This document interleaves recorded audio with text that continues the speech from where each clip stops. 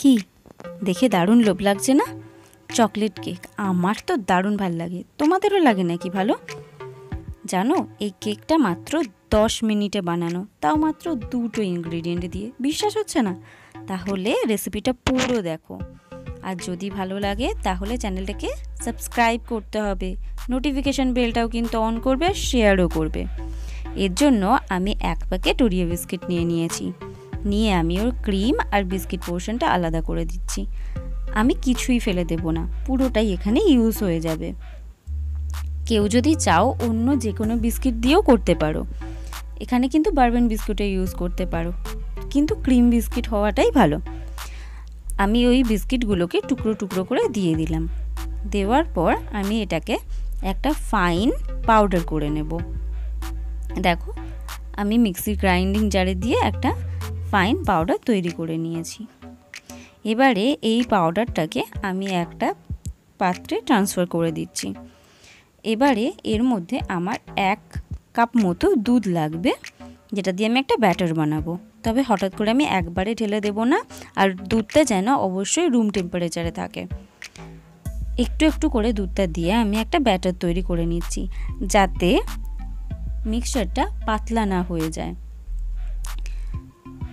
এবারে একটা পাত্রকে আমি বাটার পেপার দিয়ে গ্রিজ করে দিয়েছি।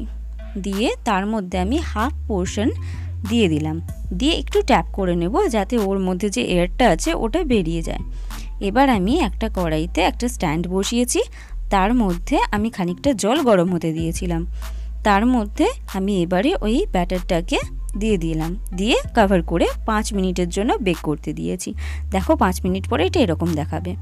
তার মধ্যে আমি এবার ওই যে ক্রিমগুলো আলাদা করে নিয়েছিলাম, সেইগুলোকে এইভাবে পুরোটা সাজিয়ে দিয়ে দিচ্ছি।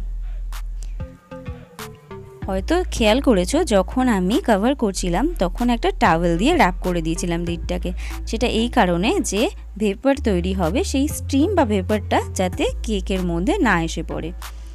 কভার করা হয়ে গেছে ক্রিমটা এবারে বাকি যে ব্যাটারটা সেটা আমি ওর মধ্যে দিয়ে দিলাম। দিয়ে এটাকেও আমি পাঁচ ছ মিনিটের জন্য বেক করতে দিয়ে দিলাম, আবার ওরকম কভার করে। এবার আমার ছ মিনিট মতো হয়ে গেছে। এবার আমি একটা স্টিক দিয়ে চেক করে নিচ্ছি যে আমার কেকটা হয়ে গেছে কিনা। দেখো সুন্দর বেরিয়ে এসছে, তার মানে কেকটা কিন্তু রেডি এবার আমি এটাকে ঠান্ডা করে ডিমোল্ড করে দিলাম আর বেকিং পেপারটাকেও আমি খুলে দিয়েছি। এবারে আমি কিছু চকলেটস দিয়ে এটাকে সাজিয়ে দিয়েছি। তোমরা চাইলে চকলেট সিরাপ বা অন্য কিছু দিয়েও এটাকে ডেকোরেট করতে পারো তোমাদের চয়েস মতো। যদি রেসিপিটা ভালো লেগে থাকে আর এরকম সিম্পল কিন্তু ডিলিশিয়াস রেসিপি চাও, তাহলে চ্যানেলটাকে চট করে সাবস্ক্রাইব করে নাও। থ্যাংকস